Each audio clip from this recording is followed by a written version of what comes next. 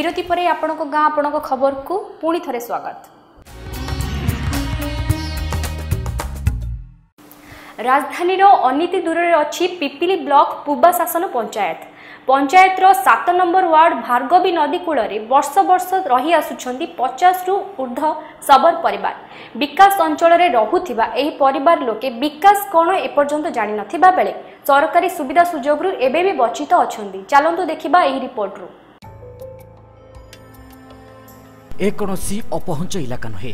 Smart city କୁହାଯାଉଥିବା ଭୁବନେଶ୍ୱରର ଅନୀତି ଦୂରରେ ଅବସ୍ଥିତ ପିପିଲି ପୂବା ଶାସନ ପଞ୍ଚାୟତ। ପଞ୍ଚାୟତର ସାତ ନମ୍ବର ୱାର୍ଡରେ ଦୀର୍ଘ ତିରିଶ ବର୍ଷରୁ ଉର୍ଦ୍ଧ୍ୱ ହେବ ରହି ଆସୁଛନ୍ତି ଶବର ଜାତିର ଲୋକମାନେ। ଅବଶ୍ୟ ଏମାନଙ୍କ ସଂଖ୍ୟା ଯଦିଓ ଅଧିକ ନୁହେଁ ତଥାପି ସରକାରୀ ହିସାବରେ ଏମାନେ ଏଠାକାର କୁଆଡ଼େ ଭୋଟର ବୋଲି କୁହାଯାଉଛି। ପ୍ରମାଣ ସ୍ୱରୂପ ସରକାରଙ୍କଠାରୁ ଏମାନଙ୍କୁ ମିଳିଛି ଭୋଟ ପରିଚୟ ପତ୍ର ଓ ଆଧାର କାର୍ଡ।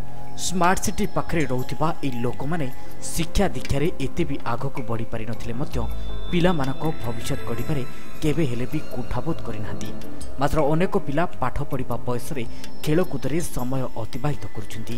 କାରଣ ହେଲା ପଢ଼ା ପାଇଁ ଆବଶ୍ୟକ ଜାତିଗତ ପ୍ରମାଣପତ୍ର ଏମାନଙ୍କୁ ଯୋଗାଡ଼ କରିବାରେ ଅସମର୍ଥ। କେବଳ ଏତିକି ନୁହେଁ ଦୁଇ ମାସ ହେବ ଖାଉଟି କାର୍ଡ ଯୋଗାଇ ଦେଇ ଯେମିତି ସବୁ କାମ ସାରି ଦେଇଥିବା ପ୍ରଶାସନିକ ଅଧିକାରୀମାନେ ଭାବୁଥିଲେ ମଧ୍ୟ ପାନୀୟ ଜଳ ପାଇଁ ସରକାରୀ ନଳକୂପଟିଏ ଏବଂ ଭୂମିହୀନ ହିସାବରେ ଏମାନଙ୍କୁ ପଟାଟିଏ କି ଜାଗାଟିଏ ମିଳିନାହିଁ ଯାହା ପାଇଁ ଅନେକ ପରିବାର ଲୋକେ ଏବେ ବି ପଲିଥିନ୍ ତଳେ ଜୀବନଯାପନ କରୁଛନ୍ତି। ବୟସ୍କମାନେ ଏବେ ବି ବାର୍ଦ୍ଧକ୍ୟ ଭତ୍ତା ପାଇଁ ଅପେକ୍ଷା କରିଛନ୍ତି। ବିକାଶ କଥା ପଚାରିଲେ ବିକାଶ କ'ଣ ବୁଝିପାରୁନଥିବା ଏହି ଲୋକମାନେ ଏବେ ଅବହେଳିତ ଅବସ୍ଥାରେ ପଡ଼ି ରହିଛନ୍ତି ଅସୁବିଧା ଏଠି ଆମେ ରହିଲୁଣୁ କୋଡ଼ିଏ ପଚିଶ ବର୍ଷ ହେଲାଣି ଆମେ ଏଠି କିଛି ବି ପାଇନଥିଲୁ। ଏବେ ଏଇ ଦୁଇ ମାସ ହେବ ରାସନ ପାଉଛୁ ଯେ ରାସନରେ ଖାଲି ଚାଉଳ ପାଉଛୁ ଗହମ ନାହିଁ କିରାସିନ ନାହିଁ ଏସବୁ କିଛି ପାଉନୁ। ତାପରେ ଏ ଯେଉଁ କାଳିଆ ଯୋଜନା ଏବେ ପଡ଼ୁଥିଲା ଫର୍ମ ସେଥିରେ ବି ଗୋଟେ ଫର୍ମ ପକାଇଥିଲୁ ସେଥିରେ ମେସେଜ ବି ପହଞ୍ଚିଲା ଆସିଛି ବୋଲିକି ସେଥିରେ ବି କିଛି ଆସିବାକୁ ନାହିଁ ଆଉ ସରକାର ତରଫରୁ ଯାହା ସବୁ ସୁବିଧା ପାଇବା କଥା ଆମେ କିଛି ବି ପାଉନୁ। ଆମ ପିଲା ଛୁଆ ପଢ଼ିବା ପାଇଁକି ବି ଅସୁବିଧା ହେଉଛନ୍ତି। ନଈରେ ପାଣି ଆସିଲେ ବି ଘର ଫର ଭାଙ୍ଗିଯାଏ। ବନ୍ଧ ଉପରେ ଆସିକି ପାଲ ଘର କରିକି ରହୁ। ସରକାର ତରଫରୁ ଯାହା ସବୁ ସୁବିଧା ଆସେ ଆମେ ସେଥିରେ କିଛି ବି ସବୁ କିଛି ପାଉନୁ। କିଛି ସୁବିଧା ପାଉନୁ। କିଛି ପାଉନୁ। ରାସନ ଖାଲି ଖାଲି ମିଳିଥିଲା ଚାଉଳ ଖାଲି ମିଳୁଛି ଗହମ ନାହିଁ ତେଲ ନାହିଁ କିରାସିନ ନାହିଁ। କିଛି ମିଳୁନି ଆଉ।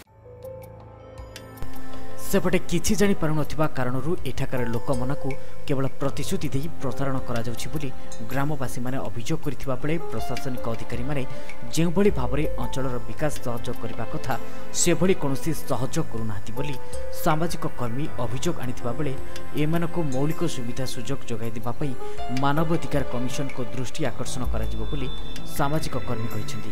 ଅପରପଟେ ଏଭଳି ଖବର ବ୍ଲକ ପ୍ରଶାସନ ପାଖରେ ନାହିଁ ବୋଲି ନୂତନ ଭାବରେ ଦାୟିତ୍ୱ ଗ୍ରହଣ କରିଥିବା ବିଡିଓ କହିଛନ୍ତି।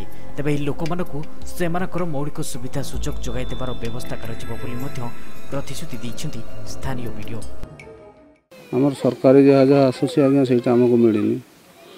ଆମର ପିଲା ଆଜ୍ଞା ଅଙ୍ଗନବାଡ଼ି ଯିବା କଥା ସେଇଟା ବି ଯାଇପାରୁନି କି ପିଲା ପାଠ ପଢ଼ି ପାରୁନି ଦ୍ୱିତୀୟରେ ଆଜ୍ଞା ଆମର ପିଲା ଯାହା ଅଛନ୍ତି ଭଲ ମନ୍ଦ ଯେଉଁ ଅଛି ସରକାର ଯୋଜନା ଯାହା ବର୍ଷା ଦିନରେ ଲାଟ୍ରିନ୍ ଆମକୁ ମିଳିବା କଥା ପିଲା ଛୁଆ ଲାଟ୍ରିନ୍ ଯିବା କଥା ସେଇଟା ବି ଯାଇପାରୁନି ନଈ ବନ୍ଧ ଉପରେ ଆଜ୍ଞା ଆମେ ସେଇଟା ଚଢ଼ୁଛି ସେଇଠି ଲାଟ୍ରିନ୍ ଭଲ ମନ୍ଦ ସେଇଠି ଆମେ କରିପାରୁଛି ତାପରେ ଇନ୍ଦିରାବାସ ଆଜ୍ଞା ଆମର ସେଇଟା ଯେଉଁ ସରକାର ଆସୁଛି ସେଇଟା ବି ଆଜ୍ଞା ମିଳିନି କାଳିଆ ଯୋଜନା ଆମର ସେଇଟା ବି ଆଜ୍ଞା ମିଳିନି ନିଶ୍ଚିତ ଭାବରେ ଏଇ ଖବର ତ ମୋ ପାଖରେ ନଥିଲା এটা ଜାଣିବା ପରେ ନିର୍ବାଚନ ପରେ ବିଧିବଦ୍ଧ ତଦନ୍ତ କରାଯାଇ ତାଙ୍କର ଯେଉଁ ମୌଳିକ ସୁବିଧା ସୁଯୋଗରୁ ସେମାନେ ବଞ୍ଚିତ ହେଉଛନ୍ତି ସେ ବାବଦରେ ପଦକ୍ଷେପ ନିଆଯାଏ ନିଶ୍ଚିତ ଭାବରେ ମୁଁ ସେଥିପାଇଁ ଗୋଟେ ଟିମ୍ ଫର୍ମେସନ୍ କରିକି ସବୁ ମୌଳିକ ସୁବିଧା ଅସୁବିଧା ଯାହା ରହିଛି ତାଙ୍କର ତା ବାବଦରେ ତଦନ୍ତ କରିକି ଯାହା କିଛି ଆମର ସରକାରୀ ସୁବିଧା ନିୟମ ମୁତାବକ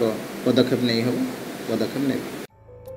ତେବେ ରାଜଧାନୀ ନିକଟବର୍ତ୍ତୀ ଅଞ୍ଚଳରେ ରହୁଥିବା ଏହି ଶବର ଜାତିର ଲୋକମାନେ ବିକାଶଠାରୁ ବହୁ ଦୂରରେ ରହୁଥିବା ବେଳେ କେବେ ପ୍ରଶାସନ ଏମାନଙ୍କର ଦୁଃଖ ବୁଝୁଛନ୍ତି ତାହା ଦେଖିବାକୁ ବାକି ରହିଲା। ପୁରୀ ଜିଲ୍ଲା ପିପିଲିରୁ ବସନ୍ତ ଖଣ୍ଡାୟତ ରାୟଙ୍କ ସହ ବ୍ୟୁରୋ ରିପୋର୍ଟ ହେଡଲାଇନ୍ସ ଓଡ଼ିଶା। ପ୍ରକୃତି ସହ ସର୍ବଦା ଯୋଡ଼ି ହୋଇ ରହିଥାନ୍ତି ଆଦିବାସୀ। ପ୍ରକୃତି ଓ ପରିବେଶ ସୁସ୍ଥ ରହିଲେ ସେମାନଙ୍କର ଜୀବନ ଜୀବିକା ସୁଚାରୁ ରୂପେ ଚାଲିଥାଏ।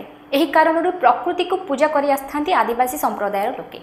ପ୍ରକୃତିକୁ ବଞ୍ଚାଇ ରଖିବା ସହ ନିଜ ପରିବାରର ମଙ୍ଗଳ ଏବଂ ସମାଜର ମଙ୍ଗଳ ପାଇଁ ପ୍ରତ୍ୟେକ ବର୍ଷ ପାଳନ କରିଥାନ୍ତି ବାହା ପର୍ବ ଆସନ୍ତୁ ଦେଖିବା ଆମର ଏହି ରିପୋର୍ଟରୁ।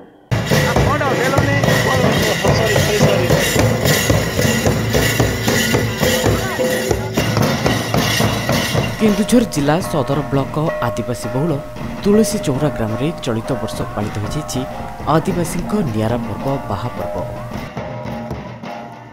ଆଉ ପରମ୍ପରା ଅନୁଯାୟୀ ଏହି ପର୍ବ ପାଳନ କଲେ ବର୍ଷ ତମାମ ପ୍ରକୃତି ସବୁଜ ସୁନ୍ଦର ରହିବା ସହ ଫଳ ଫୁଲ ଭଲ ହୋଇଥାଏ ବୋଲି ବିଶ୍ୱାସ ରହିଛି। ଏହା ସହ ନିଜ ପରିବାରର ମଙ୍ଗଳ ସହ ସାରା ସମାଜର ମଧ୍ୟ ମଙ୍ଗଳ ହୋଇଥାଏ। ଏହି ଦୁଇ ଦିନ ଆଦିବାସୀମାନେ ନିଜର ପାରମ୍ପରିକ ବେଶଭୂଷାରେ ସଜ୍ଜିତ ହୋଇ ଗାଁ ମୁଣ୍ଡରେ ଥିବା ସ୍ଥାଳରେ ନିଜ ଇଷ୍ଟ ଦେବତାଙ୍କ ପୂଜା ଅର୍ଚ୍ଚନା କରିଥାନ୍ତି।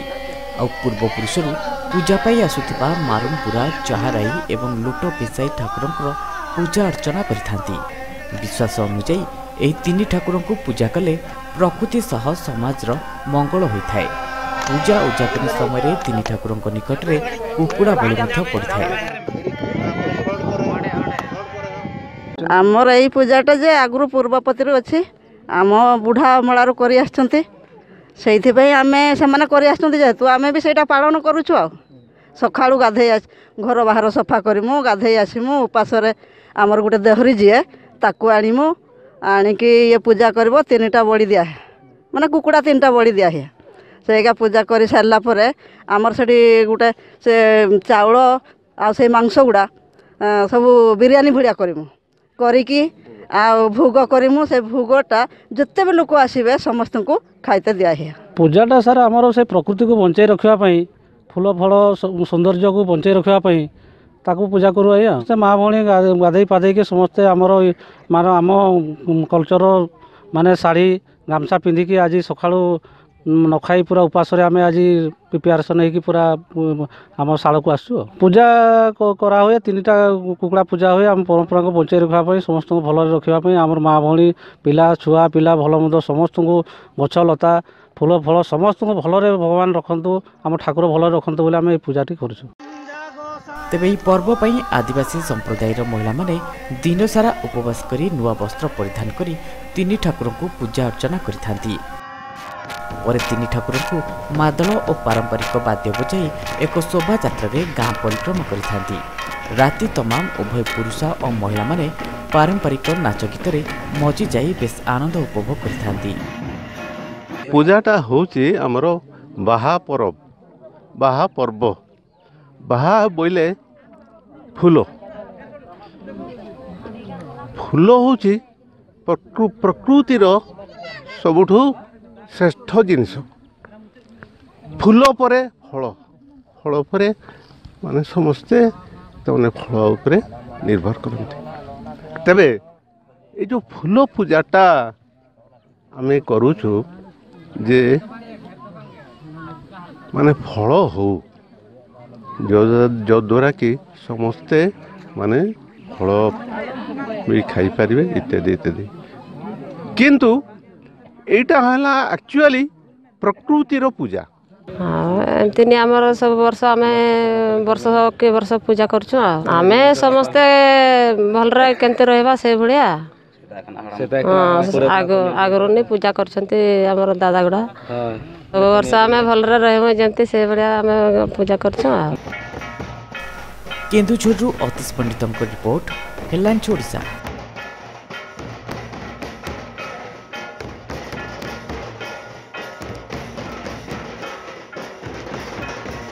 ଆପଣଙ୍କ ଗାଁ ଆପଣଙ୍କ ଖବରକୁ ଏଇଠି ରଖୁଛୁ। ସେତେବେଳେ ପର୍ଯ୍ୟନ୍ତ ବିଦାୟ ଦିଅନ୍ତୁ ରହୁଛି ନମସ୍କାର।